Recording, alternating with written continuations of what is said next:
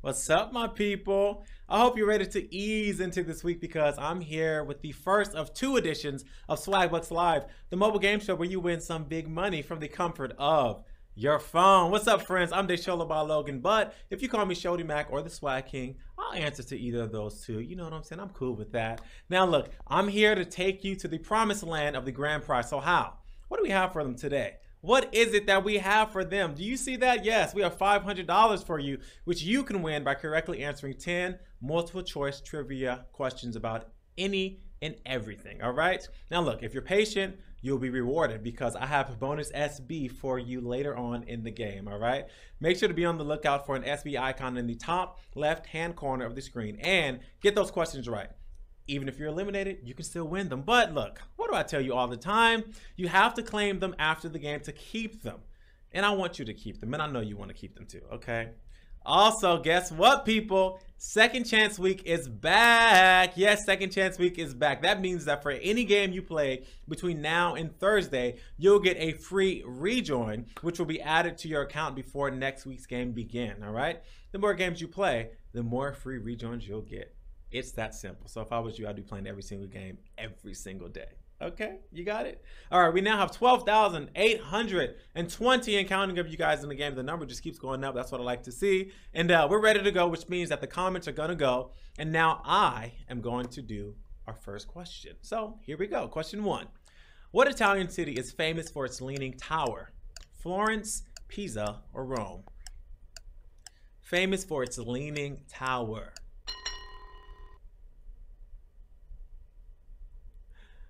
All right, so it wasn't meant to lean the way it does, by the way. That happened because the tower was actually built on soft ground, and it started leaning by the time builders got to the third story of Pisa's tower.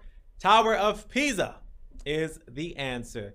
85.4% of you guys got the one right, and you knew that the Tower of Pisa was the correct answer. Now, look, a lot of you guys chose Rome.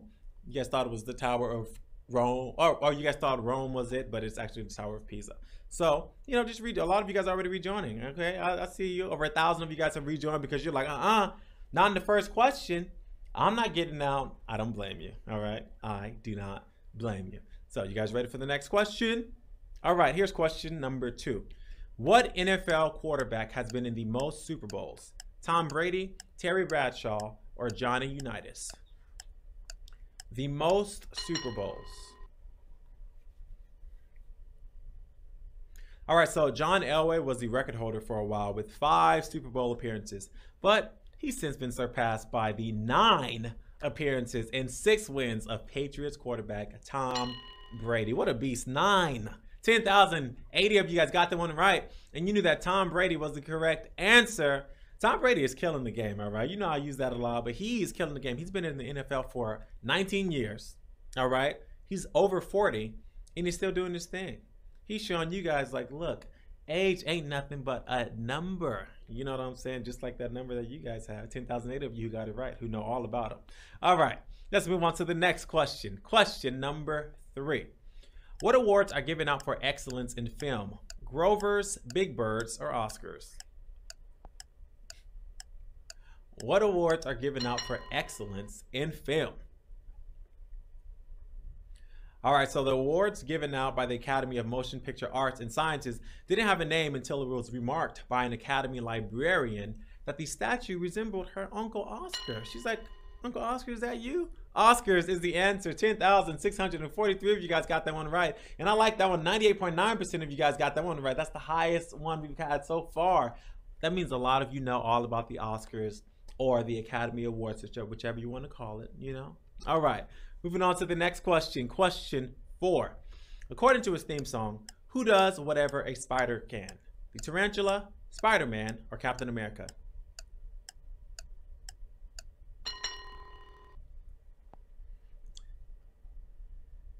Is he strong?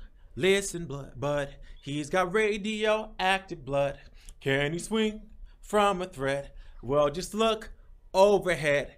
Hey, lock, he is the Spider Man. You guys know that song. Spider Man is the answer, of course. He's the only one that can do what a spider can. 10,369 if you guys got that one right. And you knew that Spider Man was the correct answer. I love Spider Man, so I'm very glad that you all got that one right. So many of you guys knew that. Uh, Spider Man is my favorite superhero. All right. I'm not a superhero person, but Spider Man is the one. Okay. If you're to do it, Spider Man. All right, let's move on to the next question. Question five. Based on his old work, old commercial work, what cereal might you see Neo eating in The Matrix? Cornflakes, Frosted Flakes, or Raisin Bran? What cereal? So, like many actors, Keanu Reeves did commercials to help pay the bills, and he once played a dancing caterer who couldn't help but sample the merchandise, which was cornflakes. Cornflakes is the answer. 4,164 of you guys got that one right, and you knew that it was cornflakes. But I gotta say, a large amount of you guys did not get that one right. Over 5,500 of you guys got it wrong, but it's fine. It's fine. It happens. A lot of you are rejoining. Uh, already over 3,100 have rejoined. 2,300 for free. That's what I like to see. That means you're doing what you got to do. You know what I'm saying? So good for all of you for doing that. But a lot of you guys uh, did choose Frosted Flakes too. So it was it was it was between Frosted Flakes and Corn Flakes, but it was the one without the sugar. Okay. All right. Let's move on to the next question. Question six: How many moons does the Earth have? Two, one, or four? How many moons?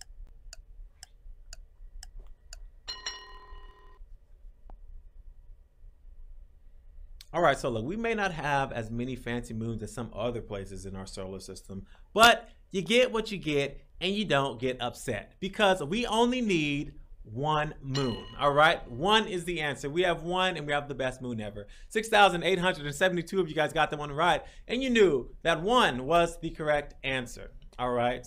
I, I every time I, I think about this question, I think of Rihanna. Shine bright tonight. You're beautiful like diamonds in the sky. Just like our game, right? Beautiful like diamonds in the sky. um, all right, you guys on to the next question. Here is question seven. What initials did the rapper Hammer put in front of his name? MC, BO, or IV?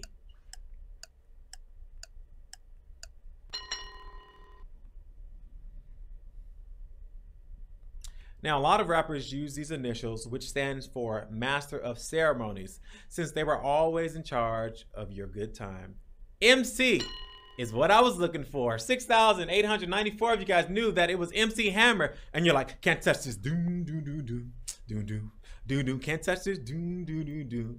My my my my. Oh, next question. All right, we have bonus SB with this one. Two bonus SB for question number eight. Which famous dog from children's books is big and red? Snoopy, Garfield, or Clifford? Big and red. And famous. All right, so everybody loves him, but he's just living in a world that's the wrong size for him. You know, it's the world's fault, which creates some misadventures for your pal and mine, Clifford. Clifford is the answer. 6,769 of you got that one right. And you knew that Clifford was the correct answer. A lot of you are fans of Clifford. I used to love Clifford when I was young. I used to watch it on PBS. Was it Saturdays? I used to watch it all the time. Anytime I could watch Clifford, I was there. What's up, Clifford? How you doing? Moving on to the next question. Uh, here's question nine, worth two bonus SB.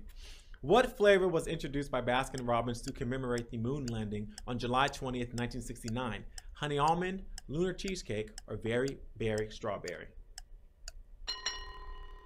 Honey almond, lunar cheesecake, or very berry strawberry? All right, so the ice cream was green cheesecake ice cream with a special Apollo 11 marshmallow ribbon and it's been brought back a few times since it first debuted. It sounds so good, and it is Lunar Cheesecake. Lunar Cheesecake is the answer. 6,368 of you guys got that one right. You made it this far, and guess what? You're ready for our final question. AAA.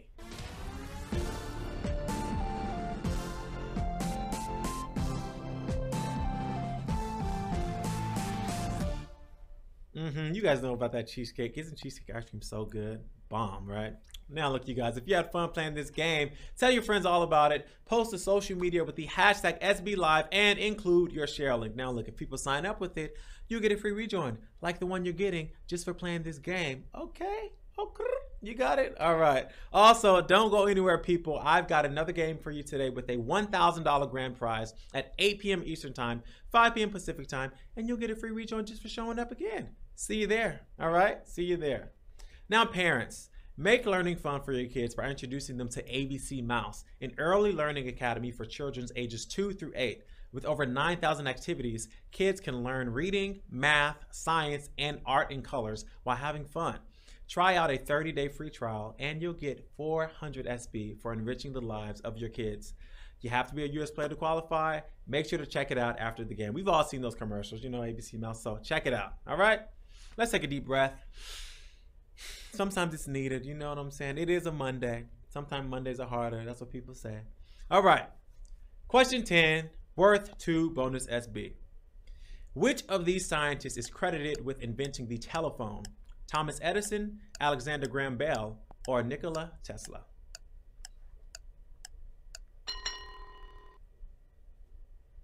So, inventor Elijah Gray was also working on a talking telegraph, but his lawyer got to the patent office too late.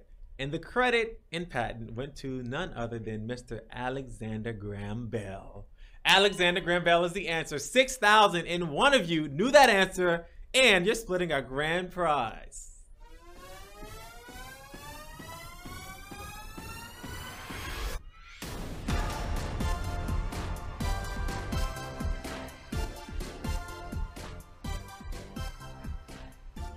Come on now. What's up to all 6,001 of you winners? That's a lot of you. Uh, hello, Bella LS101. Hey, Ann Branding. Hey, Grandma35. Hey, Bruh Pickle. Hey, LeKay. Hey, Coffee Queen Jen, Jangaroo, Garverson, and Dragonfly77 to name a few. You're all getting your prize in the form of points called SB, which you can redeem for PayPal cash or gift cards to Amazon, Starbucks, Target, and literally hundreds of other places. That was a fun game, right? That was fun. The game is done. But don't go too far because I am going to be back with another one for you in a few. All right. So I hope you all had a good time. I'll see you soon. I'm Deshaun by Logan, and this is Swag Bucks Live. Be right back.